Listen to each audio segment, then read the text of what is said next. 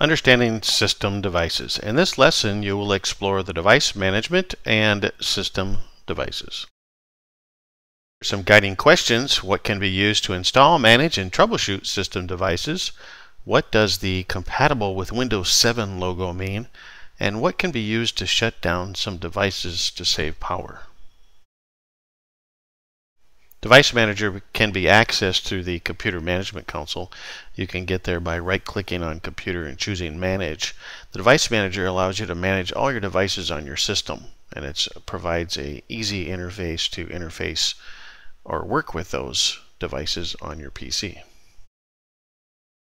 Device Manager provides many many levels of functionality, including determining if the hardware on the computer is working properly. You can use it to change hardware configuration settings, identify device drivers that are loaded for each device, and obtain information about each of the device drivers. You can also change the advanced settings and properties for devices, install updated device drivers, enable, disable, and uninstall devices, and roll back to the previous version of a driver. You can view devices by type, by connection, or by the resources they use, and you can show or hide devices that typically are not critical to view but might be necessary for advanced troubleshooting. So Device Manager gives you one place where you can go to troubleshoot your devices. When you're in Device Manager, you can double click a device to access its management's features. Here we're looking at the Microsoft USB dual receiver wireless mouse driver and on the general tab we can see information about this device and it tells us that the device is working properly. The driver tab uh, allows us to identify the properties and functions of the drivers. We can look at the driver details, update the driver, roll back the driver, disable the device, or uninstall the device. Some devices have power management features which are managed by the following options. You can allow the computer to turn off the device to save power, or you can allow this device to wake up the computer. In this case, the Microsoft USB wireless mouse, if you move it, it will wake up the computer. Various devices have other properties and tabs depending upon what type of device it is.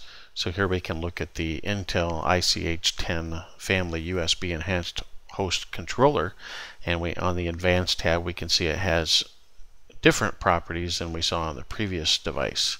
So each device could have different properties that you can configure within the device uh, property dialog box.